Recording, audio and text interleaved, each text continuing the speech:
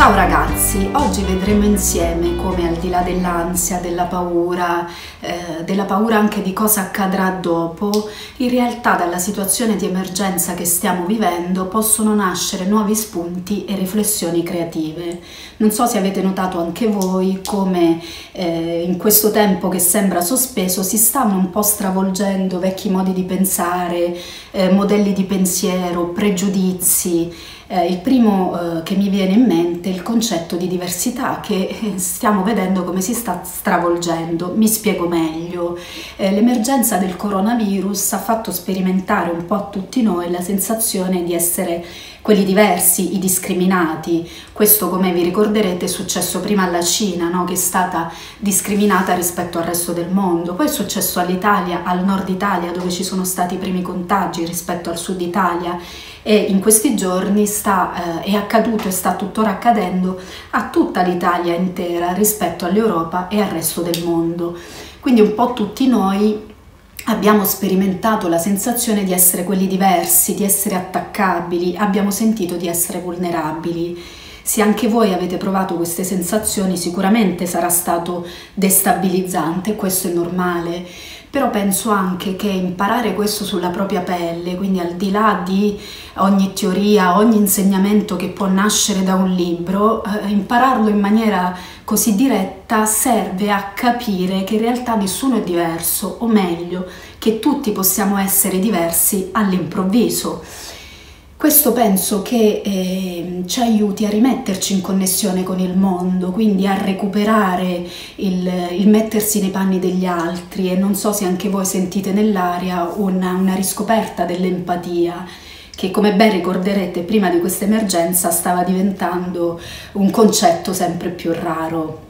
E mm, questa emergenza quindi ci sta ricordando ogni giorno come tutti siamo uguali. Il coronavirus non fa infatti, come sapete, distinzione di classe sociale, eh, colore della pelle o nazionalità, ma attualmente tutto il mondo è esposto alla stessa paura e allo stesso grado di rischio e io penso che proprio questa esposizione contemporanea alla fragilità eh, basti pensare a quello che stiamo vedendo in Italia, ci ha aiutato a recuperare un senso di, eh, di comunità, di cooperazione e anche un senso di responsabilità personale. Eh, basta pensare a tutte le situazioni di volontariato, di sostegno che stanno nascendo spontaneamente in questi giorni.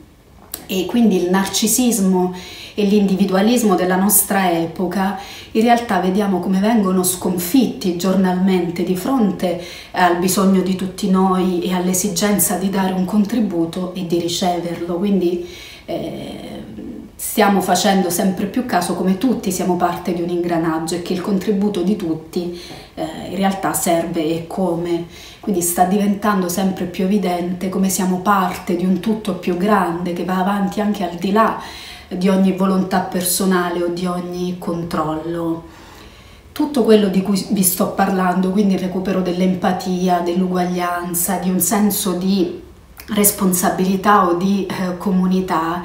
in realtà è avvenuto in maniera piuttosto inconsapevole eh, e anche in un tempo breve, anche se non so se anche a voi eh, vi sembrerà che la quarantena è, eh, insomma la stiamo facendo da un tempo molto più lungo, in realtà è passato poco e proprio perché tutto questo è avvenuto in maniera automatica dobbiamo fare attenzione a non perderlo, ma dobbiamo ehm, porre attenzione, fare una riflessione su quello che abbiamo capito, farci caso. Ecco, vi invito a fare caso a quello che voi avete imparato in questo mese, quindi eh, alle cose che avete imparato di voi stessi o degli altri durante questa emergenza e soprattutto a quelle che vorreste mantenere perché una volta che tutto questo sarà finito, quindi nel tempo post coronavirus, sarebbe, sarebbe bello mantenere quello che abbiamo imparato, anzi forse è proprio un dovere a cui tutti siamo chiamati, no? mantenere quello che stiamo vedendo ogni giorno e che stiamo eh, diciamo imparando anche ad un prezzo molto alto, quindi non vanificare il sacrificio di tutti.